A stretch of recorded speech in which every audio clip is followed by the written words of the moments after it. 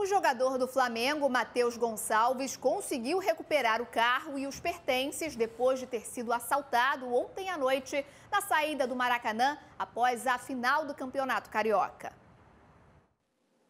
Matheus Gonçalves usou as redes sociais para avisar que tinha sido assaltado depois da final do Campeonato Carioca, ao passar pelo viaduto da Mangueira na zona norte do Rio. Só ficou só um susto mesmo. E o que eu falei, não, nem ligo para esse bagulho, mas tinha tudo dentro do carro pela visão. O jogador contou que estava com familiares quando o carro foi abordado e eles ficaram sob a mira de fuzis. Além do veículo, os criminosos levaram celulares, bolsa e até a medalha de campeão carioca, que ele tinha acabado de ganhar pelo Flamengo.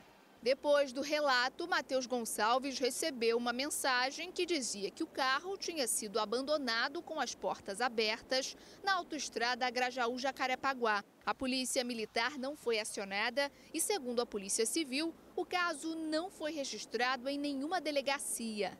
É o segundo roubo a carros de jogadores do Flamengo em menos de dois meses. Em fevereiro, o veículo do atacante Pedro foi roubado após a vitória sobre o Bangu em Sergipe.